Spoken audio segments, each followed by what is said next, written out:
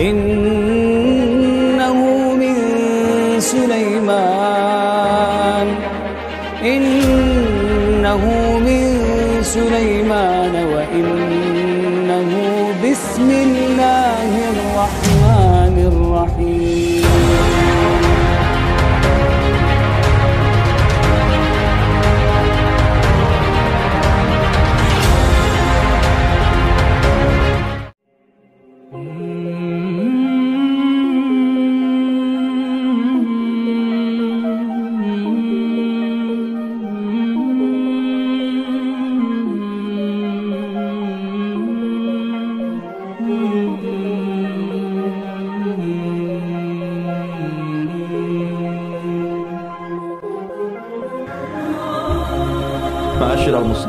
Dimuliakan Allah Subhanahu wa taala. Ketika kita bicara tentang kisah Ashabul Yamin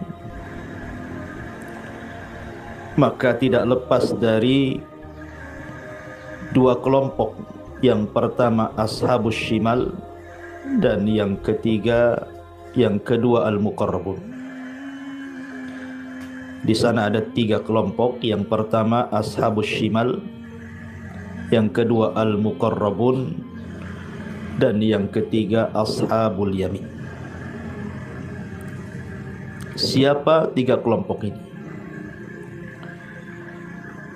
Ma'asyiral muslimat yang dimuliakan Allah Subhanahu wa taala wal muslimin rahimani wa rahimakumullah. Di dunia ini manusia pasti ada tiga kelompok. Pertama, orang-orang jahat. Tidak peduli dengan kewajiban, tidak peduli dengan yang diharamkan. Mereka berzina, minum khamr, berjudi, riba, dusta, melakukan kesyirikan, menyelisih sunnah Rasul dan begitu seterusnya. Dan juga mereka tidak peduli dengan solat, dengan puasa, dengan zakat, dengan haji. Ya layaknya mereka hidup seperti binatang. Al-Quran membahasakan orang-orang seperti ini adalah orang-orang yang disebut dengan Al-Fujjar. Orang-orang jahat.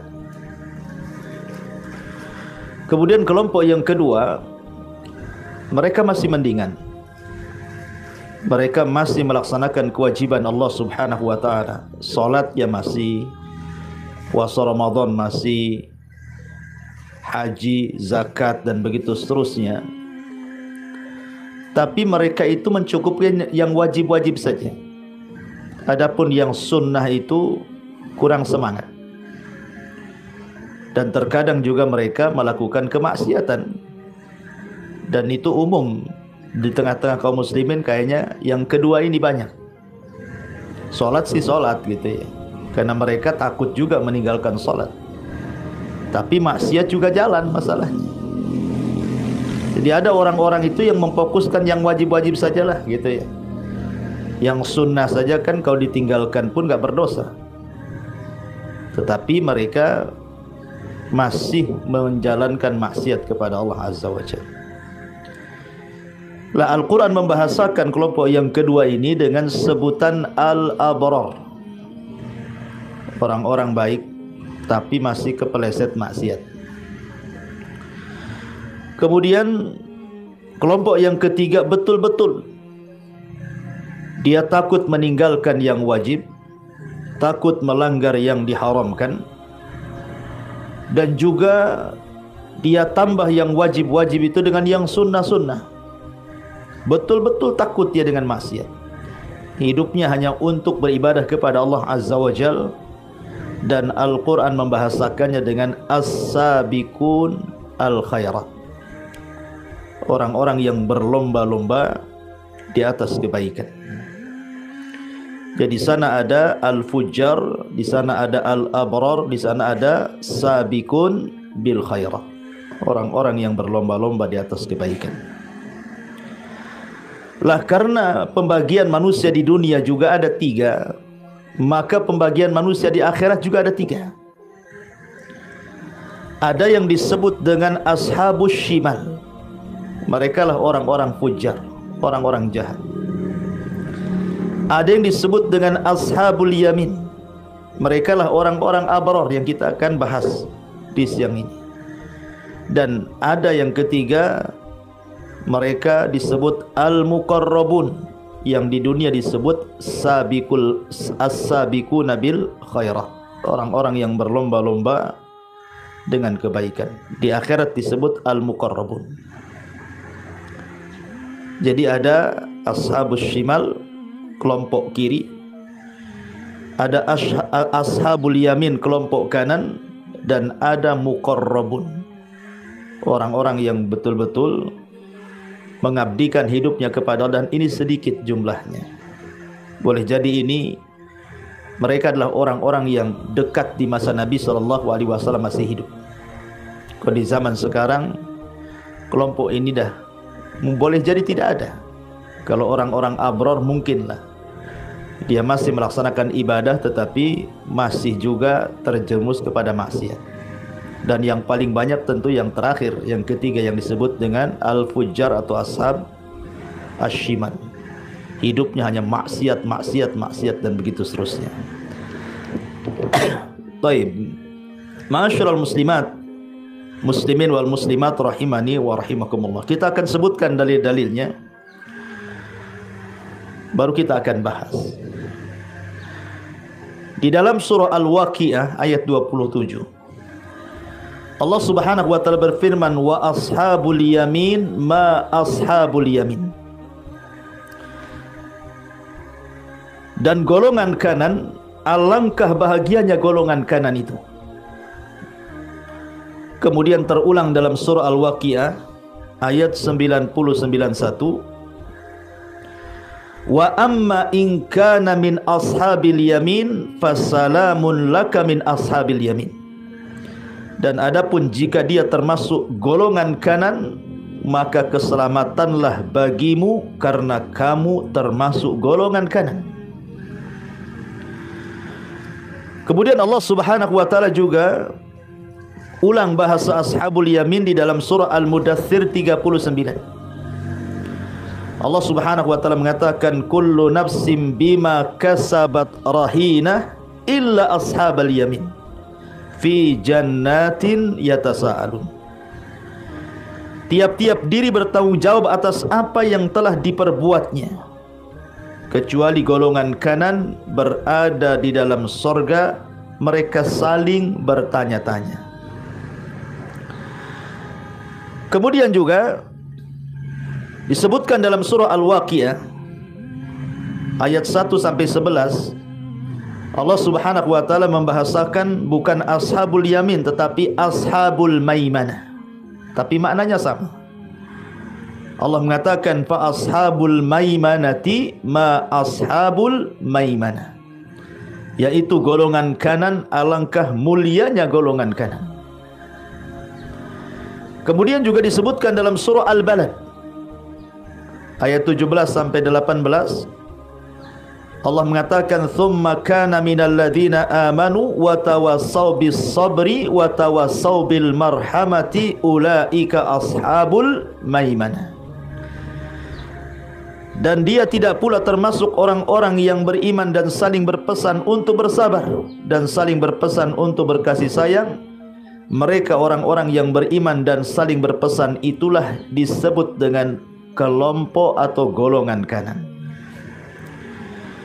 Inilah dalil-dalil dalam Al-Quran yang disebutkan tentang siapa mereka golongan kanan itu. Pertanyaan pun muncul. Kenapa mereka disebut golongan kanan? Dari mana istilah ini muncul? Apa maknanya? Maka para ulama terutama ulama tafsir berbeda pendapat tentang penafsiran siapa golongan kanan itu? Dan itu disebutkan oleh Imam Ibn Jauzi dalam kitabnya Zadul Masir. Ada delapan pendapat kenapa mereka disebut kelompok kanan itu. Pendapat yang pertama maksudnya Ashabul Yamin adalah alladzina kanu ala yamini Adam hina akhrajat dzurriyyatuhu atau hina ukhrijat dzurriyyatuhu min sulbihi disebut kelompok kanan itu karena ketika Adam alaihi salatu wasallam diciptakan kemudian diusap punggungnya itu kan keluar tuh ruh-ruh keturunannya menunjukkan perbedaan antara penciptaan ruh dan jasad. Kalau Adam jasadnya dulu diciptakan baru ruhnya. Kalau kita terbalik ruhnya dulu baru jasad. Jadi ketika Allah itu mengusap punggung Adam itu keluar ruh-ruhnya yang begitu banyak tuh. Ada yang melesat ke kanan, ada yang melesat ke kiri. Lah yang melesat ke kanan itulah disebut ashabul yamin.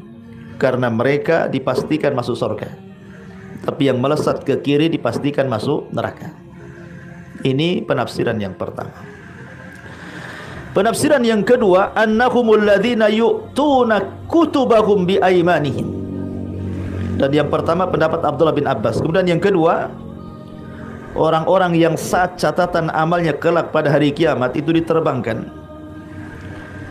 Maka manusia berbagai macam cara untuk mengambil catatan-catatannya, kitab-kitabnya. Ada yang mengambil dengan tangan kanannya, ada yang mengambil dengan tangan kirinya, ada yang mengambil dengan tangan kiri sebelah punggungnya. Kenapa kemudian ada tiga kelompok cara mengambil ini? Karena di dunia juga ada tiga kelompok. Ada mukmin, ada kafir, ada munafik. Adapun mukmin mengambil dengan tangan kanannya, adapun kafir dengan tangan kirinya, adapun munafik karena parah dia, maka dia mengambil dengan tangan kiri di balik punggungnya. Kesulitan dia mengambilnya. Ini penafsiran yang kedua. Jadi ashabul yamin adalah orang-orang yang mereka mengambil catatannya dengan tangan kanannya. Dan dengan bangganya dia mengatakan ha umuqra'u kitabiyah. Baca kitabku karena dia sudah tahu isinya. Ya. Tapi yang mengambil dengan tangan kirinya maunya dibuang saja karena dia pun tahu isinya apa. Dan ini adalah pendapat Al-Imam Al-Qurtubi rahimahullahu taala diambil dari perkataan Imam Dhahab. Kemudian yang ketiga, annahum alladzina kanu mayamina ala anfusihim. Ay mubarakin. Hasan Al-Basri dan juga Rabi mengatakan yang dimaksud ashabul yamin adalah mereka orang-orang yang diberkahi. Orang-orang yang diberkahi hidupnya. Dan makna berkah itu artinya kebaikan yang tidak akan lepas bahkan bertambah di dunianya tenang hidupnya walaupun banyak masalah dia tenang karena berkah hidupnya, hartanya berkah, suami istrinya berkah, anak-anaknya berkah, kendaraannya berkah, pokoknya berkah. Walaupun banyak musibah, banyak masalah, dia tidak bergeming dengan keberkahannya. Ketenangan hatinya. Kemudian yang nomor empat penafsiran sebagian lama mengatakan annahumul ladzina ukhidu min syikki adamil aiman. Ada yang mengatakan bahawa mereka adalah orang-orang yang mengambil posisi sebelah kanan Adam. Kemudian yang nomor lima, annahum alladzina manzilatuhum anil yamin. Menurut Maimun ibn Mihran, mereka adalah orang-orang yang kedudukannya kelak di sorga itu sebelah kanan. Kemudian juga yang nomor enam Annahum ahlul jannah Al-Imam Sudi mengatakan yang dimaksud ashabul yamin adalah orang-orang yang dipastikan masuk surga. Orang-orang yang dipastikan masuk surga. Karena orang masuk surga itu dengan dua cara. Pertama direct langsung, tidak singgah-singgah lagi tanpa hisab tanpa adab. Mereka lah mukorrobun. Kemudian ada orang yang masuk surga tetapi karena syafaat atau boleh juga masuk neraka dulu kemudian dimasukkan ke dalam surga karena syafaat dan rahmat. Ah, mereka lah ashabul yamin yang jelas mereka pasti masuk surga bagaimanapun caranya. Kemudian yang lain mengatakan ashabul yamin adalah ashabul manzilatir rafi'ah. Mereka adalah orang-orang yang memiliki kedudukan yang tinggi di surga. Allah berikan kemuliaan di surga. Dan yang terakhir ada yang mengatakan annahumul ladzina yu'khad bihim dzatal yamin ilal jannah. Mereka orang-orang yang digiring oleh para malaikat dari sebelah kanan. Ketika dimasukkan ke dalam sorga mereka digiring ke sebelah kanan kemudian dimasukkan ke dalam sorga. Itulah kenapa ashabul yamin disebut ashabul yamin. Ma'asyiral muslimat yang dimuliakan Allah Subhanahu wa taala. Pertanyaannya bagaimana caranya kita menj bisa menjadi ashabul yamin ini? Karena sudah jelas tadi keutamaannya kan. Mereka orang-orang yang akan mendapatkan catatannya dengan tangan kanannya artinya pasti selamat.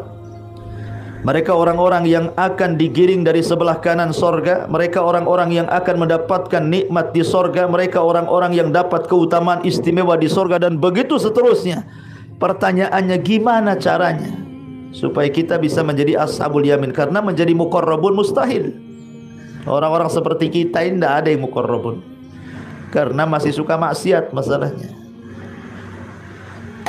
Taib. Disebutkan dalam hadis Talha ibn Ubaidillah, Talha ibn Ubaidillah radhiyallahu an. Ja'a rajulun ila Nabi sallallahu alaihi wasallam. Datang seorang laki-laki menghadap Rasul. Dan laki-laki ini termasuk dari ahli Najd. Kemudian dia mengatakan di hadapan Nabi sallallahu alaihi wasallam sebuah pertanyaan tentang Islam. Rasul, apa itu Islam? Maka Nabi sallallahu alaihi wasallam menyebutnya khamsu salawatin fil yaumi wa. Engkau melaksanakan salat lima waktu sehari semalam, engkau melaksanakan puasa Ramadan dan begitu seterusnya.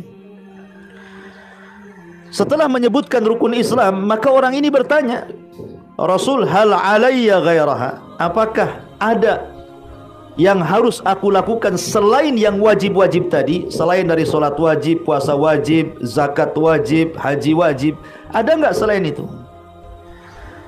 Maka Nabi mengatakan la tidak ada. Illa anta tawwa kecuali kau mau menambah dengan yang sunnah-sunnah kau tambah solat wajib dengan solat rawatib solat duha solat malam solat tahiyatul masjid, solat wudu dan yang lainnya.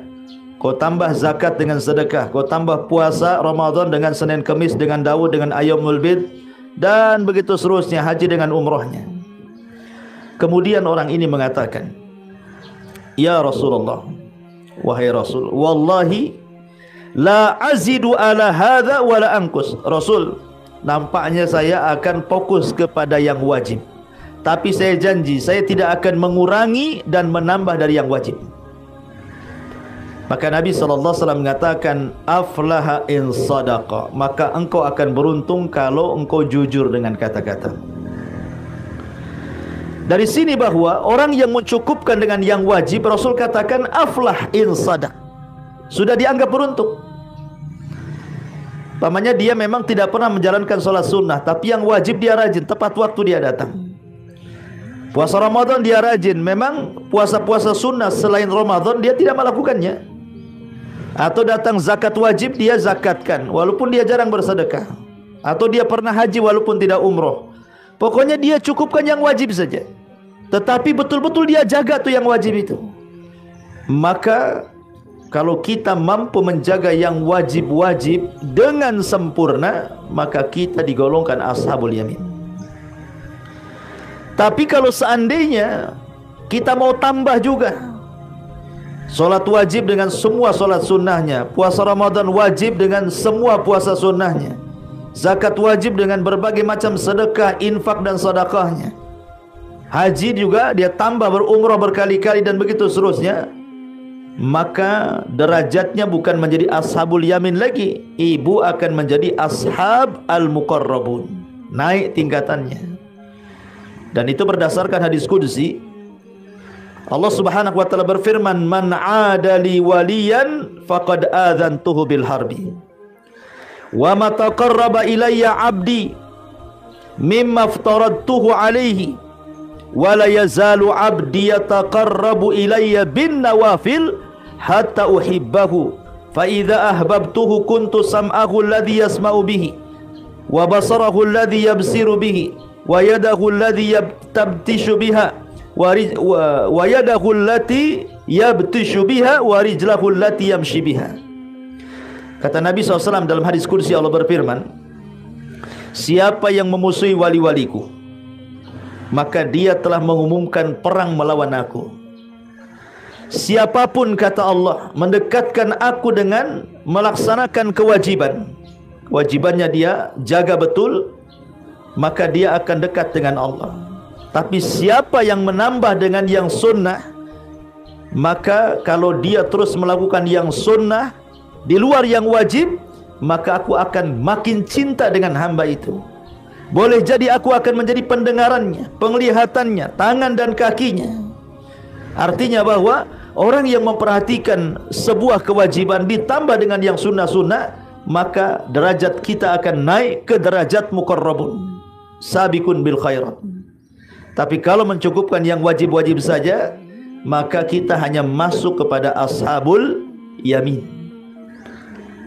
Ma'asyiral muslimat wal muslimin rahimani wa rahimakumullah. Taib. Lalu sifat-sifatnya seperti apa? Ashabul Yamin itu kan punya sifat-sifat di dunia. Sifat-sifatnya seperti apa? Biar kita tergolong Ashabul Yamin itu. Disebutkan dalam surah Al-Balad ayat 11 sampai 17. Allah Subhanahu wa taala berfirman, "Falaq tahamal aqabah. Wa ma adraka mal aqabah?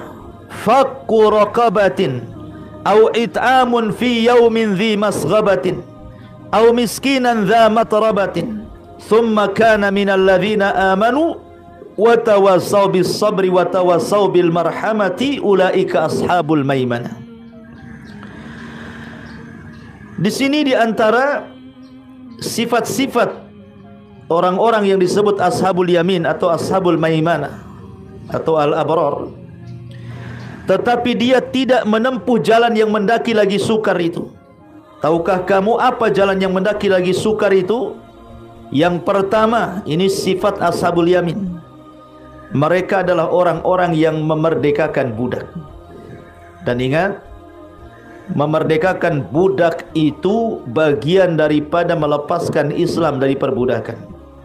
Karena ada orang yang sinis dengan Islam dan mengatakan Islam kok masih membahas masalah hukum-hukum perbudakan. Dia tidak paham bahwa syariat Islam itu dalam rangka menghilangkan perbudakan. Karena di zaman Rasul perbudakan itu di zaman jahiliyah orang-orang musyrik itu biasa perbudakan itu menjadi komoditi bisnis. Bahkan terkadang mereka menculik orang merdeka kemudian dijual jadi budak. Ya. Bahkan mereka menggauli budak wanita supaya dapat anak dan anaknya jadi budak dijual lagi. Itu orang-orang jahiliyah itu. Maka dengan datangnya Islam dihapuskan pelan-pelan. Makanya kalau kita lihat kafarah-kafarah dalam Islam itu pasti pertama disuruh memerdekakan budak dulu. Seperti orang yang berhubungan intim di siang Ramadan. Apa kafarahnya? Merdekakan budak dulu. Kalau tidak bisa baru puasa Dua bulan berturut-turut kan itu. Kalau tidak bisa baru memberi makan 60 fakir miskin. Tapi kan memerdekakan budak dulu. Kafarah zihar memerdekakan budak. Dan begitu seterusnya. Bahkan ketika Rasul bicara tentang ada orang yang memakai gelang dan digunakan untuk jimat.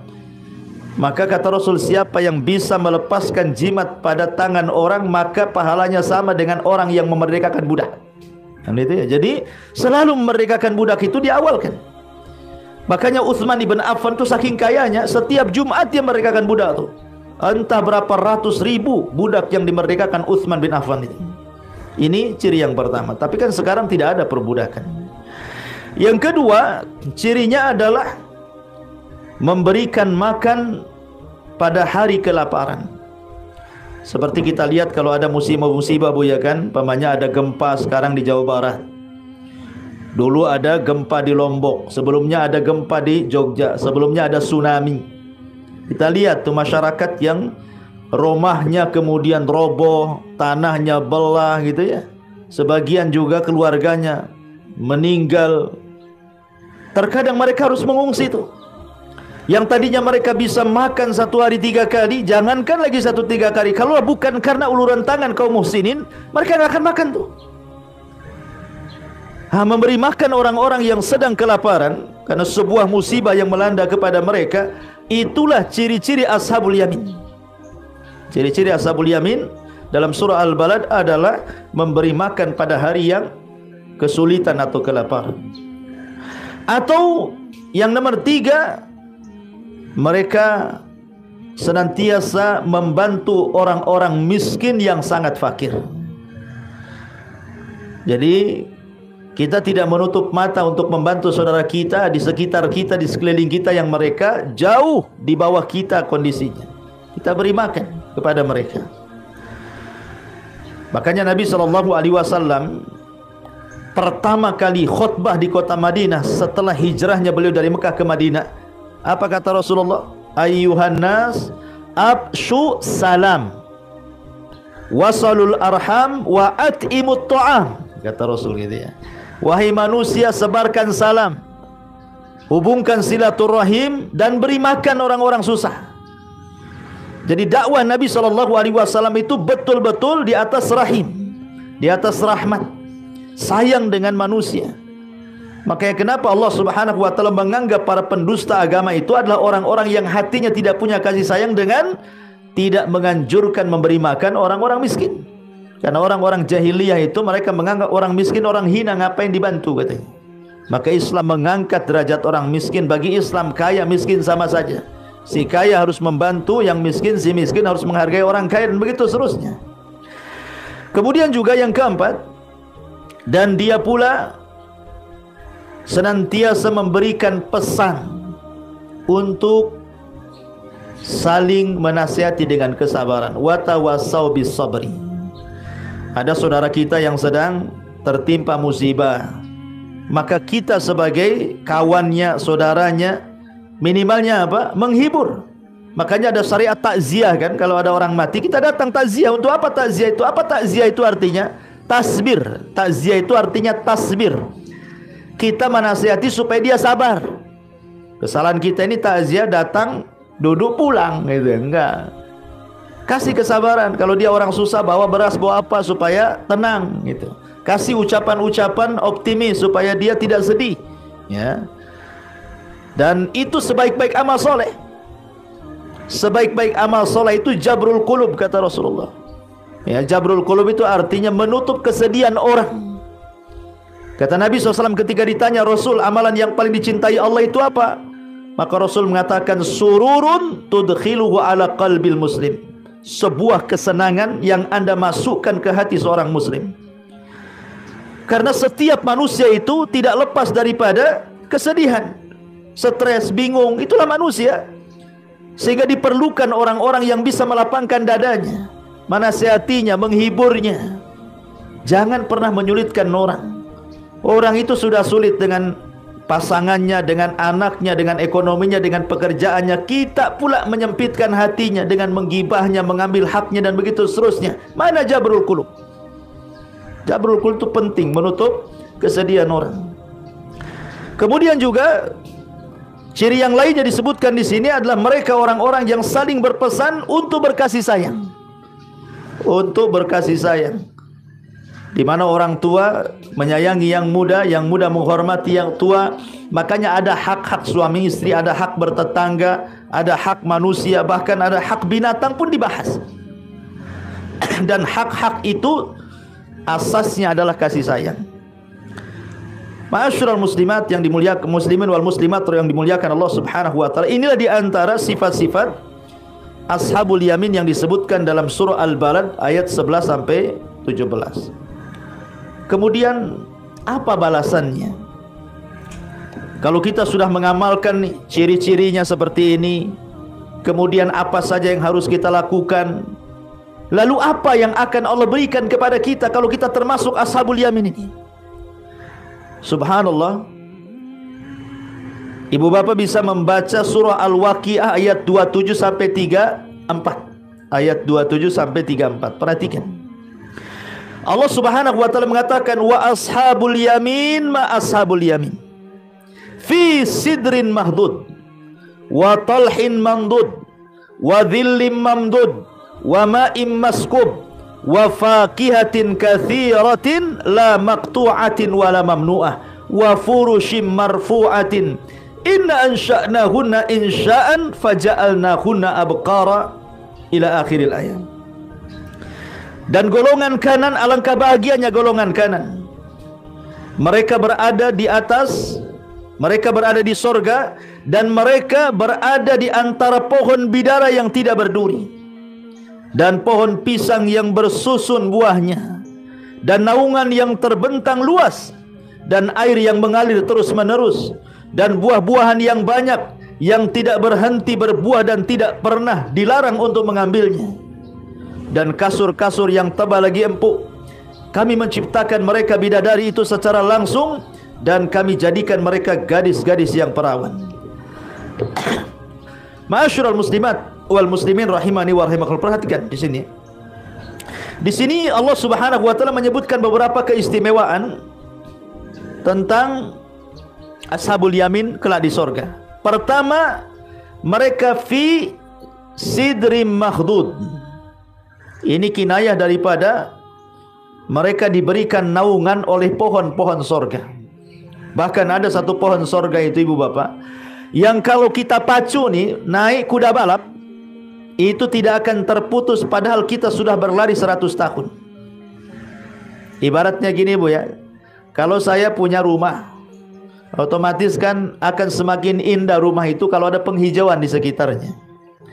Kemudian adalah pohon mangga, pohon jambu, pohon apa namanya jangan salak aja lah kan yang penting yang tinggi-tinggi yang bisa bernaung kan kemudian rasanya enak kalau kita taruh kursi gitu ya kemudian kita makan siang di situ pakai ikan asin pakai apa apalagi sayur asem ya. tapi yang enak yang masaknya ya. kalau kita duduk di situ itu siang-siang dengan angin sepoi-sepoi itu rasanya enak kali itu ya. Tetapi masalahnya Kan tidak senantiasa naungan pohon itu akan menaungi kita kalau matahari sudah bergerak sedikit ke barat saja sudah beda tuh. Sudah kena panas lagi kita. Ya. Jadi di sorga itu tidak seperti itu naungan pohonnya. Jadi seratus tahun berpacu dengan kuda balap itu tidak hilang naungannya subhanallah. Jadi kita bisa bersenang-senang di bawah pohon itu. Itulah fisidrim mahdud di antara maknanya. Kemudian juga ada yang memaknai maksudnya fi sidri mah, mah apa mahdud di sini adalah as-samaru at-tayyibu. Jadi buah-buahannya segar. Kalau kita ini mau makan buah harus metik baru di dianggap segar. Tapi kalau sudah masuk ke pasar itu kan beli apa saja mesti ada yang busuk. Mesti ada yang tidak enak gitu ya. Ya karena di dunia ini mencari yang segar susah. Kecuali punya kebunnya sendiri. Ah, gitu. Ya terpaksalah ke pasar yang sudah terkadang-kadang sudah 100 tahun dia jual. Tah gimana rasanya? Ya. Kadang-kadang kena tipu ya yang di atas saja yang segar udah dikilokan rupanya bawahnya udah busuk semua. Jadi itulah sidri mahdud dan itu diperuntukkan untuk ashabul yamin. Kemudian yang kedua watalhim mandud. Talhin mandud artinya pohon yang sangat besar dan banyak. Ya, kemudian semuanya berbuah dan buahnya itu kepengen kita memakannya. Kayak orang ngidam tuh, Bu. Ibu kalau ngidam kan jangan pengen makan balsem lah. Ngidamnya pengen makan buah mangga gitu kan. Adalah tetangga itu punya mangga, rasanya liurnya itu bercucur-cucur tuh kalau tengok mangga. Nah, sorga itu lihat buah itu pengen makan ya. Dan tidak ada musimnya, musim terus di dunia kan repot nih, nggak ada musimnya ngidam pula kan stres jadinya. Ya. Di sorga itu nanti disebutkan la atun wala mamnu'a sudah tidak ada musimnya, musim terus, tidak pula dilarang mengambilnya. Kalau kita kan lagi musim kebun-kebun orang, ya tidak mungkin lah kita ambil kan kecuali beli. Ya. Jadi di sorga itu luar biasa. Itu maknanya talhim mangdud. Ada juga yang mengatakan talhim mandud adalah tadi pohon-pohon pisang yang bersusun-susun buahnya. Bahkan bukan hanya buah-buahannya saja, binatangnya pun demikian. Ada seorang laki-laki datang kepada Nabi sallallahu alaihi wasallam, "Ya Rasulullah, hal fil jannati min ibi?" Rasul di surga itu ada unta enggak? Namanya orang Baduy suka dengan unta.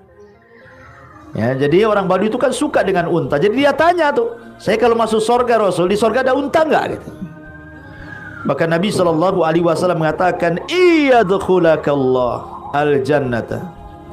Yakunu laka fiha mashtahat nafsuka wa ladzat 'ainuka Kalau engkau masukkan ke dalam sorga kata Rasul, maka apapun yang kau inginkan pasti tercapai. Makanan selezat apapun sudah dihadirkan di depan. Tinggal menghayal saja sudah ada gitu.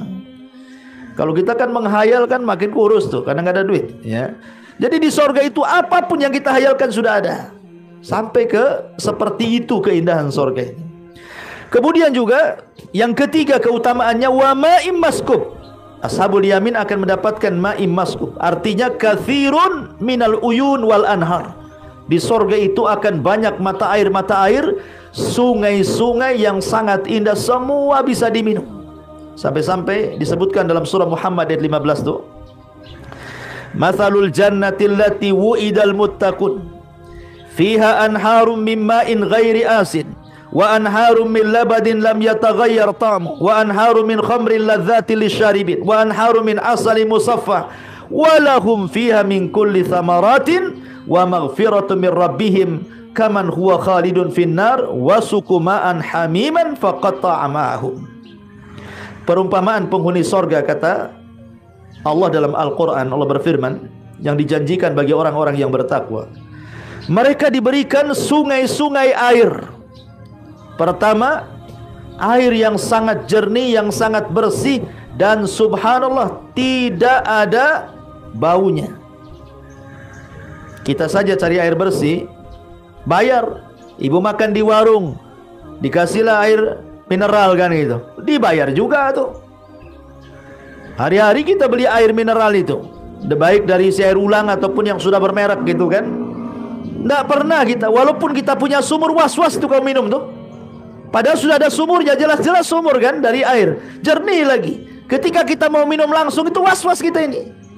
Nah, terpaksa tak jadi tetap aja minum dari isi air ulang tuh. Pada terkadang sumur kita lebih bersih tapi was-was gitu ya. Di sorga itu subhanallah.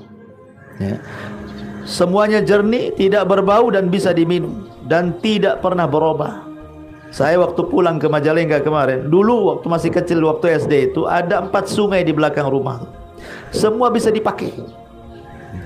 Orang mandi di situ, ya orang bawa cucian nyuci di sungai. Subhanallah, dulu masih kecil-kecil berenang di situ cari ikan apa. Sekarang pulang semua jadi limbah tahu. Enggak ada. Ke sana limbah tahu, ke sini limbah tahu. Semua jadi limbah tahu. Berubah semuanya. Mau nengok pun tak mau. Udah kecium baunya dulu dari atas. Apalagi mau jegur gitu ya. Tapi di sorga nggak ada yang kayak gitu itu. Akan berubah airnya. Ya, luar biasa. Kemudian juga yang lebih daripada itu, wa anharun min labanin lam yataghayyar tam. Bahkan sungai ada namanya sungai susu itu mengalir kalau di dunia ini susu beli kalengan. Ya kan? Susu bendera kalengan. Kadang-kadang nunggu di peternakan kalau ndak diperah ya nggak ada susu lah. Sampai-sampai dulu ada alternatif karena tidak ada susu sapi akhirnya apa? Pakai keledai, eh apa? Kedelai, keledai pula. Pakai kedelai gitu ya, susu kedelai jadinya kan. Nah. Di dunia ini susah gitu ya, di akhirat ini tinggal nyidu saja. Subhanallah. Yang luar biasanya adalah Allah mengatakan lam yataghayyar ta'muh, tidak berubah rasanya. Kita saja di dunia ini mau minum susu, kita tuangkan tuh susu di gelas itu, biarkanlah satu bulan jangan diminum. Bulan depan baru diminum tuh. Kira-kira gimana rasanya itu? Apa enggak diare hari-hari itu? Penyakit tuh susu di dunia ini. Kalau tidak segera diminum segarnya gitu ya, kalau dibiarin berhari-hari, ya, kemudian jadi fermentasi, jadi penyakit jadinya jadi racun. Ya. Tapi di sorga lam yataghayyar ta'mu. Wa anharun min asalin musaffa. Luar biasa lagi ada satu sungai itu semua madu. Kita aja mau cari madu di peternakan perang dulu dengan tawon. Ya. Itu saja dah mahal satu botolnya. Apalagi kalau madu Yaman itu madu sidar itu satu botol setengah kilo bisa juta-juta harganya. Di sorga tinggal nyiduk saja dan sudah tersaring ya. bahkan yang lebih hebat lagi Allah mengatakan wa anharu min khamrin ladzatil syaribin dan ada sungai semua khamar murni. Kalau orang-orang barat tuh kadang-kadang mereka menyimpan khamar itu sampai ratusan tahun. Supaya makin enak, makin mahal tuh. Bisa ratusan juta harganya itu ya, yang usia khamar sekian tahun itu. Di sorga tidak perlu tinggal nyidu saja tidak usah beli. Di dunia makan minum khamr paling paling kecil kepalanya sewaktu. Ya, coba saja kalau orang nggak pernah minum khamr, minum khamr, kata orang peminum itu pusing tuh kalau baru belajar itu. Kalau yang parah ya udah tidur disolokan lah. Ya, udah nggak sadar kan? Ya. Tapi di sorga Allah mengatakan ladzati lisyaribin. Minumnya itu lezat rasanya. Makanya jangan coba-coba minum di dunia. Kata Rasulullah, "Man syaribal khamra fid dunya lam yashrabhu fil akhirah." Siapa yang mabok di dunia dia tidak akan mabok di akhirat. Ini dari sungai-sungainya. Bahkan dalam sebuah hadis itu bukan bukan semacam sungai tetapi lautan. Dalam hadis yang diasankan oleh Imam Tirmidzi, "Inna fil jannati bahrul ma'i wa bahrul asali wa bahrul labani wa bahrul khabri, thumma tashaqqaqul anharu ba'du." Sesungguhnya di sorga itu ada samudra air, samudra madu, samudra susu, samudra Arab. Kemudian sungai-sungai bercabang dari samudra-samudra itu artinya tidak akan pernah kering. Ya. Kita lihat danau-danau saja di Batam ini makin mengering kalau tidak hujan tuh. Sungai-sungai makin surut nunggu hujan dulu gitu ya. Di sana subhanallah itu alirannya dari laut-laut. Jadi yang mengalir ke sungai-sungai sorga itu itu dari lautan tuh. Lautan khamar, lautan susu, lautan madu, lautan air jernih dan begitu seterusnya. Ini kan luar biasa. Ini baru cerita sungainya. Bagaimana cerita mata airnya? Karena manusia ini terkadang diindahkan pandangan itu dengan mata air. Ada yang dari atas ke bawah. Kalau orang Jawa Barat disebut curug, itu ya dari atas ke bawah itu. Makanya banyak itu di Jawa Barat itu rekreasi-rekreasi curug. Itu kadang-kadang berkilo-kilo harus jalan tuh ke curug. Tetap aja orang datang. Kadang-kadang hujan-hujan licin-licin tetap ditempuh karena ingin melihat pemandangannya curugnya yang dari atas tuh yang terjun air terjunnya itu. Ada juga yang memuncar dari bawah. Kita lihat kan kalau lihat taman-taman di mall-mall di mana-mana orang-orang kaya itu kadang-kadang buat taman apa? Dibuatlah memuncar air dari tanah seolah-olah muncar ke atas karena nampaknya indah. Atau yang mengalir. Tapi lihat di sorga itu semua ada, mata air jenis apa saja ada. Mau yang dari atas ke bawah namanya curug ada, mau yang dari tanah ke atas muncrat juga ada, yang mengalir ke mana-mana ada. Subhanallah, makanya lihat bahasa Quran ada beberapa mata air. Yang pertama namanya salsabila. Ibu kalau punya anak namanya salsabila berarti itu mata air sorga. Allah mengatakan dalam surah Al-Insan ayat 17 18 wa yuskauna fiha ka'san kana mizajuha zanjabila ainan fiha tusamma salsabila. Di sana mereka diberi segelas minum bercampur jahe. Jadi air jahe wedang jahe tapi wedang jahenya beda dengan wedang jahe Sauruk Sunda ya. ya sana lebih lezat lah. Kesamaan nama tapi beda hakikat ya sebuah mata air di sorga yang dinamakan salsabila ini yang pertama ada mata air namanya zanzabila dan salsabila. Yang kedua ada namanya tasnim. Ini mata air yang paling indah yang Allah berikan hanya diberikan kepada mukarrabun saja. Namanya tasnim. Allah mengatakan wa mizaju min tasnim ainan yasrabu bihal mukarrabun. Jadi Allah mengatakan dan campurannya dari tasnim yaitu mata air yang diminum oleh mereka yang disebut dengan mukarrabun. Ashabul Yamin enggak minum, tetapi Muqarrabun minum dari air ini karena tasnim ini air yang sangat termulia yang ada di sorga. Kemudian ada namanya air kafur dan ini diberikan kepada Ashabul Yamin. Innal abrara yashrabuna min ka'sin kana mizajuha kafura. Sesungguhnya orang-orang yang berbuat kebaikan minum dari segelas berisi air yang bercampur air kafur. Jadi ada air kafur. Kemudian ada air namanya at-tahur, bersih.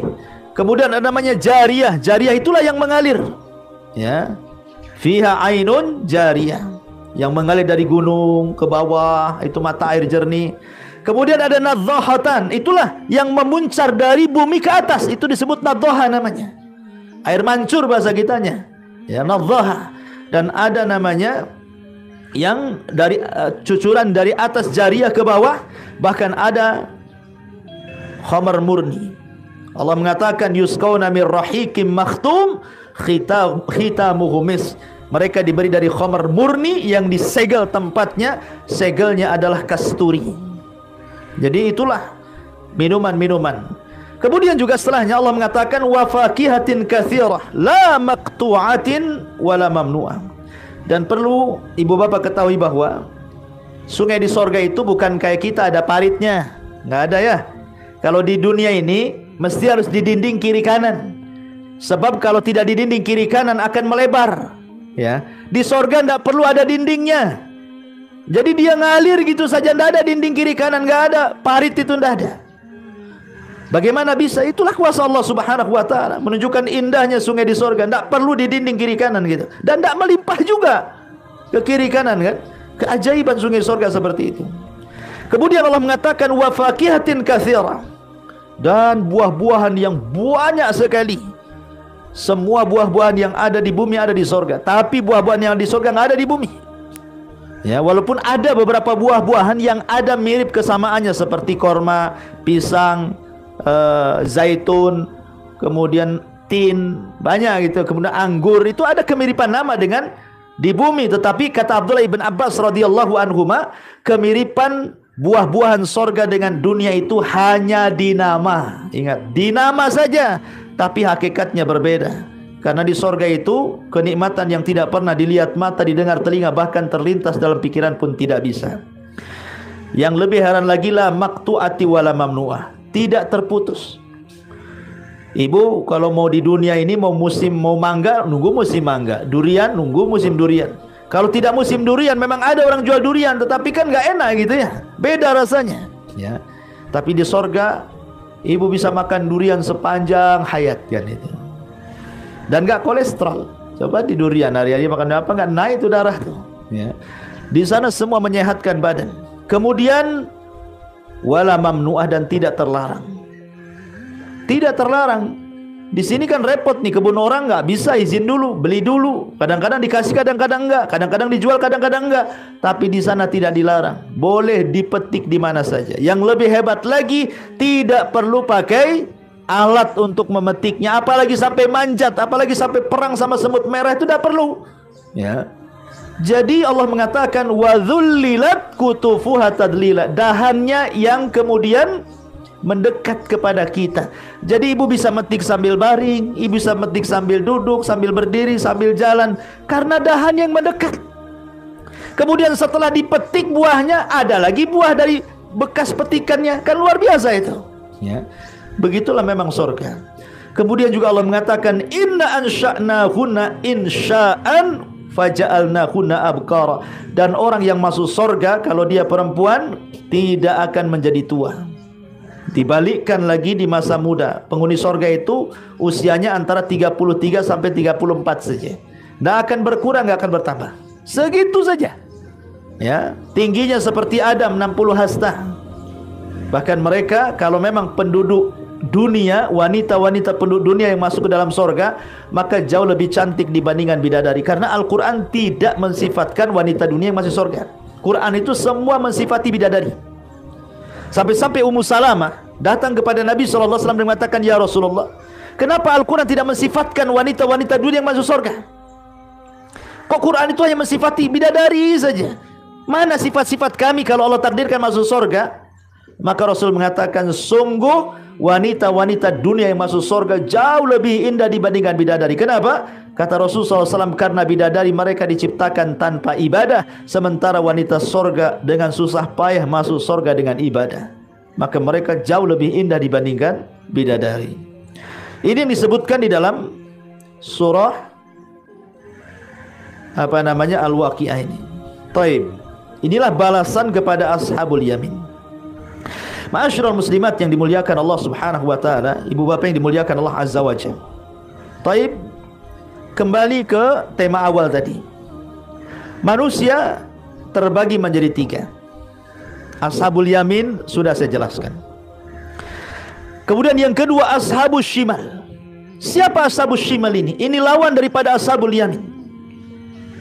Karena mereka adalah orang-orang yang ada di sebelah kiri dan yang mengambil catatannya dengan tangan kiri. Ashabus Shimal ini disebutkan di dalam surah Al-Waqi ayat 1 sampai 11.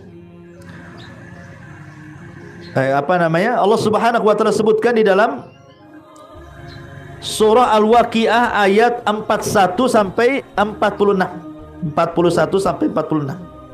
Allah mengatakan, Wa ashabus shimali ma ashabus shimal. Golongan kiri alangkah sengsaranya golongan kiri. Fi samumin wa hamim. Mereka disiksa dengan angin yang sangat panas dan air yang mendidih. Kalau ibu pernah hidup di padang pasir, kita kan nggak pernah hidup di padang pasir sih masalahnya ya. Di padang pasir itu, kalau musim panas bu, ya, itu ada hawa-hawa panas tertentu yang entah datang dari mana itu membuat dari atas kepala sampai ke kaki itu mendidih. Pokoknya tenggorokan itu kayak panas sekali haus. Ya.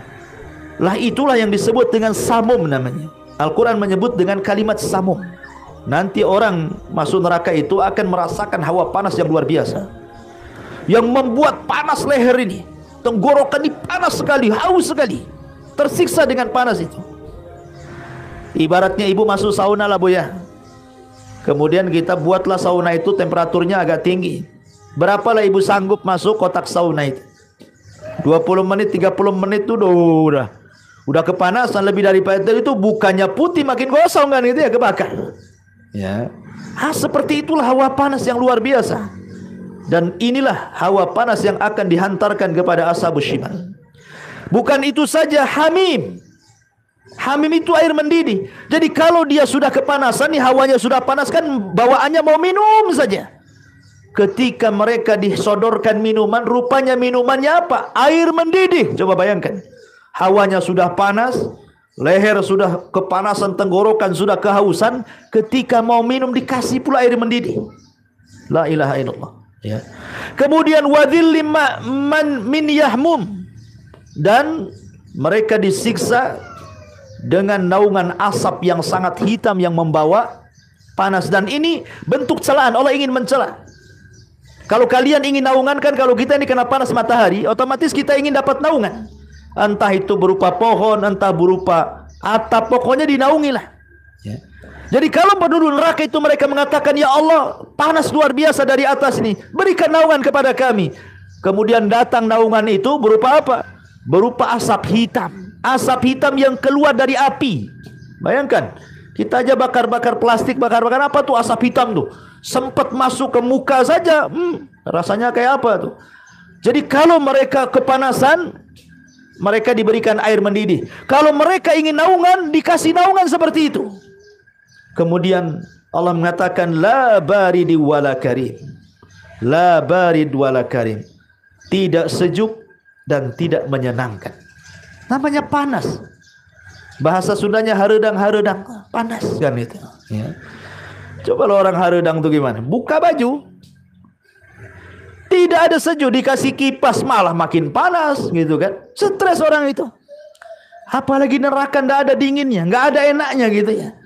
Kemudian Allah mengatakan alasannya. Innahum kanu qabla dhalika mutrafin. Sesungguhnya mereka sebelum itu. Kenapa? Allah buatkan ashabus shimal itu karena ketika di dunia mereka merasa sudah mendapatkan kemewahan semuanya. Mereka ingin dapat naungan, masuk ke rumah mewah. Ingin dingin, tinggal setel AC.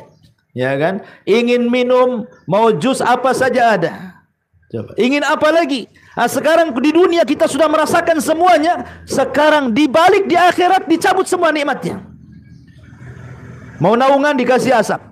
Mau minum dikasih air mendidih. Mau kipas dikasih hawa panas. La ilaha illallah. Kenapa di sini Allah mengatakan sesungguhnya mereka sebelum itu hidup mewah-mewah karena kemewahan itulah yang melalaikan segalanya. Allah mengatakan kalla innal insana la yatghu an ra'ahus. Sekali-kali apabila Allah sudah bentangkan kekayaan itu biasanya mereka melampaui batas lupa diri. Karena biasanya kekayaan ini yang melupakan diri. Lihat Korun bagaimana lupa diri. Namrud, Fir'aun dan Quran itu ketika menyebutkan kisah-kisah ini karena memang ada orang yang seperti mereka. Ya. Kemudian Allah mengatakan wa kanu yusirruna ada al-hinthil.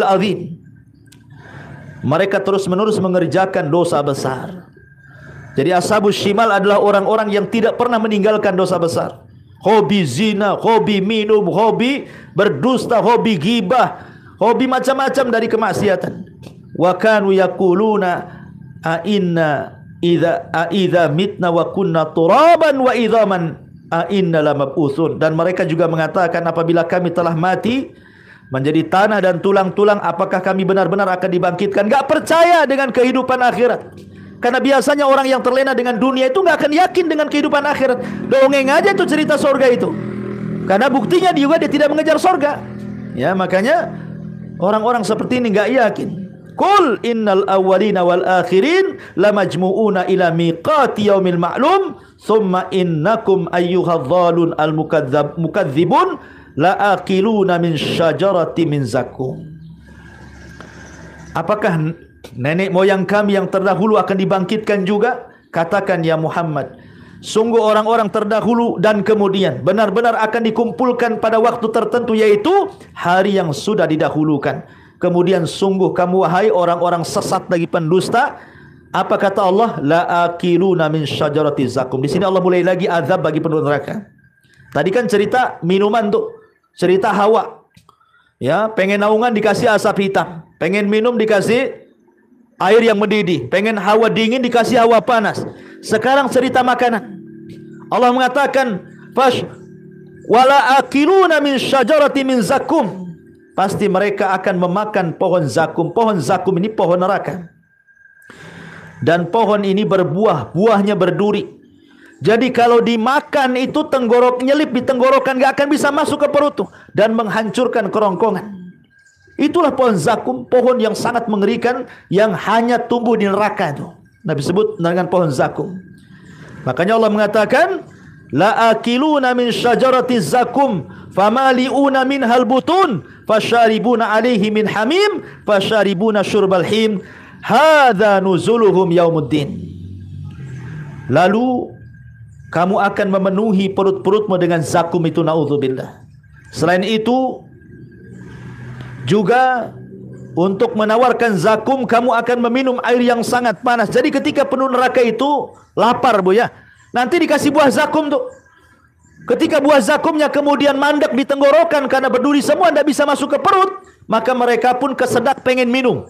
Dikasih minum, apa kata Allah? Fasharibuna alaihi min hamim.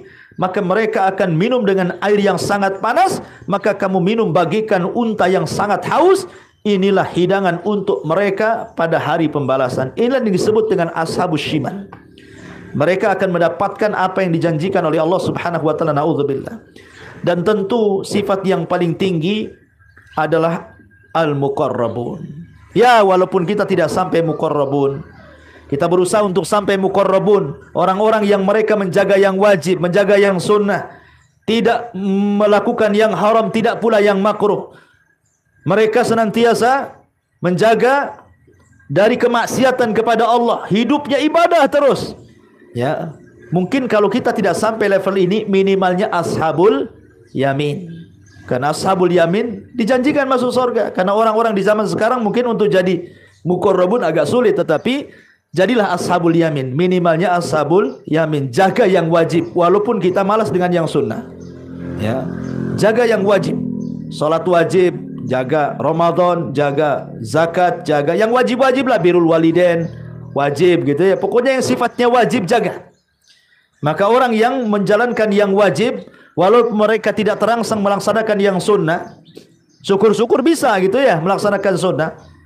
Kemudian kalau terjerem, terjerembab masuk ke dalam maksiat langsung bertobat kepada Allah Azza wa Jalla insyaallah maka kita akan digolongkan kepada ashabul yamin. Inilah pembahasan tentang sekilas siapa ashab al yamin.